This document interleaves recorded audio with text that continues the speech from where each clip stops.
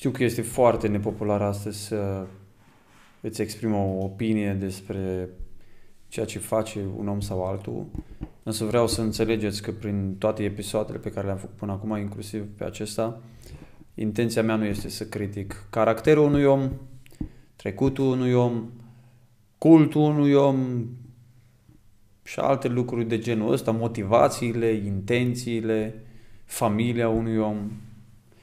Și intenția mea este să vă încurajez pe fiecare dintre voi să vă gândiți dacă ceea ce ascultăm, dacă ceea ce vedem, dacă ceea ce promovăm, chiar pe internet, dând like, dând share, participând la asemenea evenimente, dacă aceste lucruri sunt după cuvântul lui Dumnezeu, dacă acestea sunt în voia lui Dumnezeu. Unul dintre cele mai importante aspecte ale vieții bisericii este evangelizarea. Însă în țara noastră, în România, s-a importat din America, importat din America un stil de evangelizare care nu are nicio treabă cu Sfânta Scriptură. Și foarte simplu mă refer la aceste chemări pe fond muzical în care oamenii sunt invitați să-i permită lui Dumnezeu, să-L lase pe Dumnezeu, să-i dea voie lui Dumnezeu. Aceste de chemare la mântuire în care Dumnezeu este cerșetorul, în care Dumnezeu este acela care se roagă de om, în care omul este într-un fel suveran, este factor decisiv în mântuirea lui, în destinul lui și așa mai departe.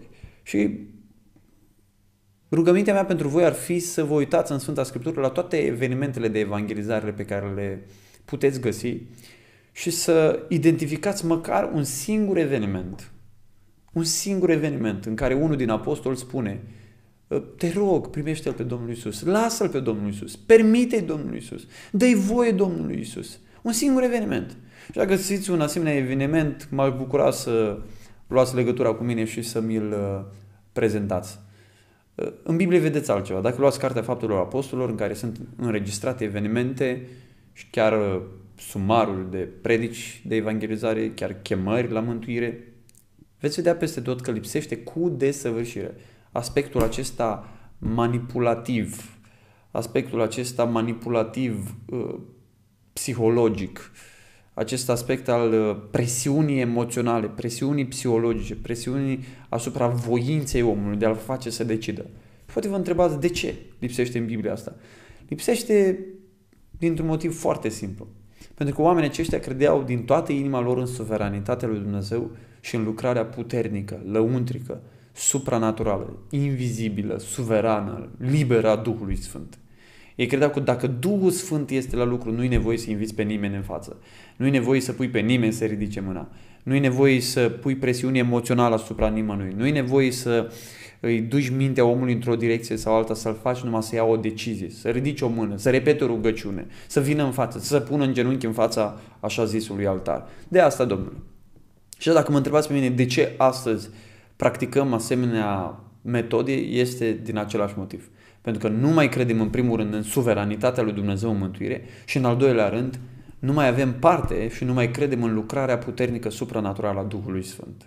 Și de aceea este nevoie, uh, credem noi, să facem lucrarea pe care Duhul Sfânt uh, o poate face și de fapt numai Duhul Sfânt o, o face. Ce facem în realitate este să ne înșelăm pe noi înșine că avem convertiți. Ce facem în realitate este să ne înșelăm pe noi înșine că avem succes că avem rezultate. Și ce facem în realitate este un mare dezastru pentru biserica viacului nostru. Să umplem bisericile cu oameni neconvertiți pe care îi punem mai apoi să se roage, să predice, să mărturisească și să trăiască în sfințenie. Este cel mai mare chin al vieții lor pentru că acești oameni nu au experimentat nașterea din nou. Și nu spun lucrul acesta ca să arunc o probă asupra unei persoane sau asupra acestor oameni, ci spun lucrul acesta pentru că vreau să ne întoarcem la un tip de evangelizare biblică. Vă pun un exemplu și este rugămintea mea să ignorați pur și simplu persoana care face lucrul acesta, deși ea este foarte populară și activă în evangelizare. Să vedeți tipul acesta de chemare și vă rog din nou, puneți în fața Scripturii lucrul acesta și vedeți dacă găsiți undeva în Biblie un asemenea tip de evangelizare. Haideți să ascultăm puțin dintr-o predică ținută la Giurgiu de fratele lui Gimițoi în 2014. Ia auziți! Lui Dumnezeu, lasă-L să te ierte, lasă-L să-ți ofere prețul și biletul de a merge în împărăția lui Dumnezeu. Vreau să-ți propun să te convertești. Și ascultați, lasă-L, auziți, lasă-L pe Dumnezeu să te ierte. Permite-i lui Dumnezeu. O zis din nou. Deu lasă-L să te ierte. Lasă-L să-ți ofere prețul și biletul de a merge în împărăția lui Dumnezeu. Deci unii găsim în Biblie limbajul ăsta. Lasă-L pe Dumnezeu. Permite-i lui Dumnezeu. Tu ești la centru de comandă, tu ești în centrul universului tău, tu ești factorul decisiv, tu poți, lasă-L pe Dumnezeu, permite-i lui Dumnezeu. Unde vedem în Biblie asta? Unde vedem în Biblie presiunea asta pusă din partea predicatului? În Biblie vedem cu totul altceva. Auziți, fapte, capitolul 2, prima predică din faptele apostolilor, după coborârea Duhului Sfânt, oamenii care au auzit Evanghelia au întrebat, fraților, ce să facem? Deci n-a fost o presiune din partea predicatorului, a fost ceva din partea oamenilor care erau deja, care erau deja lucrați, cercetați, luminați, convinși de Duhul Sfânt.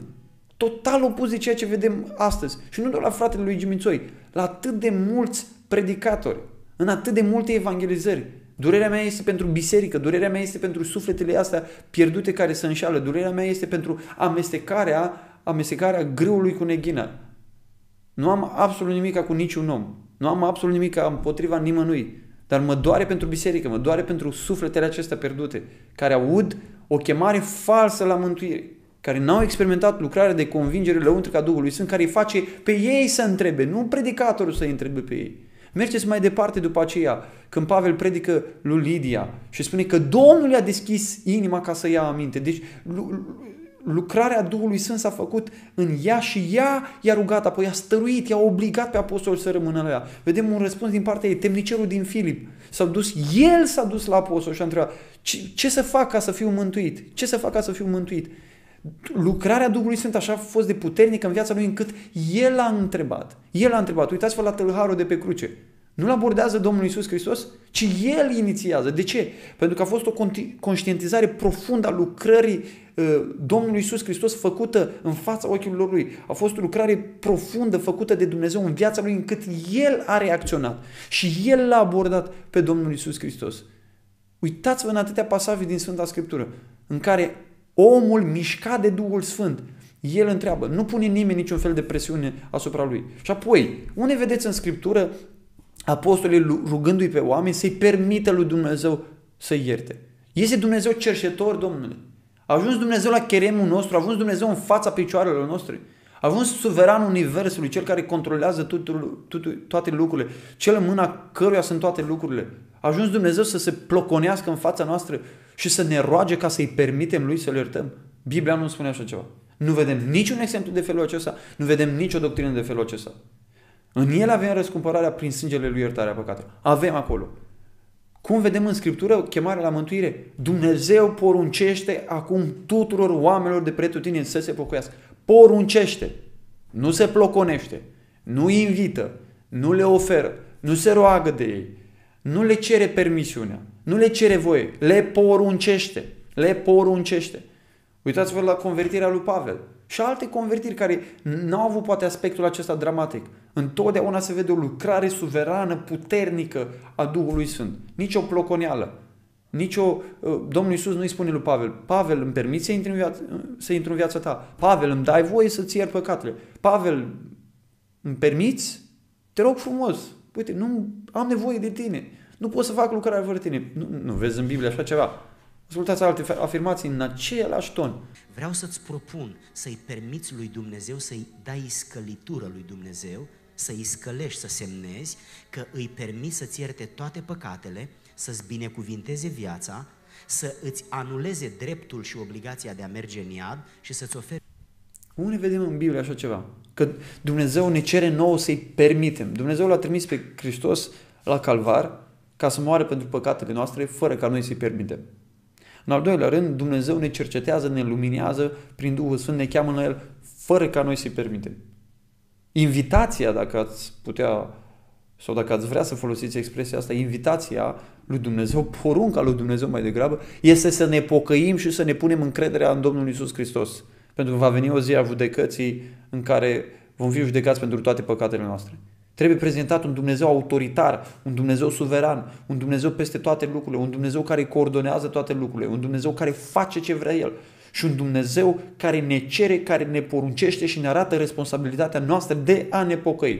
Nu un Dumnezeu care ne invită, nu un Dumnezeu care ne face o ofertă, ne pune pe tavă ceva care ne place și ne cere să-L luăm noi de acolo. ci un Dumnezeu care ne poruncește. Și să-ți ofere oportunitatea de a merge în rai. Toate lucrurile astea sunt pe cheltuiala Lui. Stimați prieteni. Să ne oferă oportunitatea de a merge în rai. Deci numai posibilitatea de a merge în rai. Cine crede în mine are viața veșnică, nu are oportunitatea de a avea viața veșnică. Deci totul este pus așa, posibilități, oportunități, oferte, nu este nimic asigur aici. Scriptura nu vorbește în felul acesta. Cine crede în Fiul are viața veșnică. Crede în Domnul Isus și vei fi mântuit. Este oportunitatea de a fi mântuit. Deci dau voie lui Dumnezeu și El îmi permite. El îmi permite, îmi dă oferta, îmi dă oportunitatea de a fi mântuit. Ascultați altă afirmație. Că să-L lași pe Dumnezeu să-ți schimbe inima. Vreau să-ți propun să-L lași pe Dumnezeu să-ți ierte păcatele. Vreau să-ți propun să-i permiți lui Dumnezeu să-i dai scăl. Deci unde vedem în Scriptură că Dumnezeu ne cere nouă permisiunea să ne schimbe inima? Vedem însă în Scriptură Domnul i-a deschis inima Lidiei. Vedem în Scriptură o intervenție supranaturală a Duhului Sfânt asupra inimilor noastre, fără ca Dumnezeu să ne ceară voie. Știu că e foarte nepopular lucrul acesta, dar este biblic. Vântul suflă încotro vrea. Nu ne întreabă vântul Duhului Sfânt folosind expresia și imaginea, metafora Domnului Iisus din Ioan capitolul 3, nu ne întreabă dacă vrem să sufle peste noi, dacă vrem să ne cerceteze, dacă vrem să ne ilumineze, dacă vrem să ne convingă. Nu ne întrebat Duhul Sfânt pe uh, oamenii la 50 dacă vor să fie convinși de păcat. Ei care au rămas străpunși în inimă au întrebat, fraților, ce să facem? Nu le-a cerut nimeni voie ca să le schimbe Dumnezeu inima și să lucreze Dumnezeu asupra lor. Nu ne-a cerut Dumnezeu voie niciodată să ne ierte păcatele. Auziți ce spune Ezechiel, capitolul 36? Vă voi stropi cu apă curată și veți fi curățiți. Nu ne cere voie. Vă voi curăți de toate spulcăciunile voastre și de toți idolii voștri. Vă voi da o inimă nouă și voi pune în voi un duh nou. Voi scoate din trupul vostru inima de piatră și vă voi da o inimă de carne. Voi pune Duhul meu în voi și vă voi face să urmați poruncile mele și să păziți și să împliniți legile mele. Vă voi scoate inima de piatră și vă voi da o inimă de carne. Dumnezeu face schimbarea inimii fără să ne ceară voie. Noi nu putem, domnule, noi nu putem să-i, să-i dăm permisiunea lui Dumnezeu și nici nu vrem să-i dăm permisiunea lui Dumnezeu. Nimeni nu poate veni la mine dacă nu-L atrage Tatăl. Deci nu putem. Invitația este absolut. Noi nu putem să facem lucrul acesta. Noi nu putem să facem lucrul acesta. Nimeni nu poate să, nimeni nu poate să spună Iisus Hristos este Domnul decât prin Duhul Sfânt, decât dacă ai înainte Duhul Sfânt în viața ta. Nimeni nu înțelege lucrurile Duhului lui Dumnezeu. 1 Corinteni, capitolul 2. Pentru că trebuie judecate duhovnicește. Trebuie să ai Duhul care să-ți dea o înțelepciune duhovnicească ca să înțelegi Evanghelia și ca să primești Evanghelia. Chemarea lui Dumnezeu nu este să-i permitem ceva. Chemarea lui Dumnezeu nu este să-i dăm voie ceva. Asta este o chemare falsă la mântuire. Falsă, eronată, complet eronată. Dumnezeu în Scriptură nu ne invită să-i dăm noi voie. Nu ne invită să-i permitem. Nu ne invită să-l lăsăm. Dumnezeu ne poruncește să ne pocăim. Ne poruncește să ne punem toată încrederea numai în Domnul Isus Hristos pentru mântuirea noastră.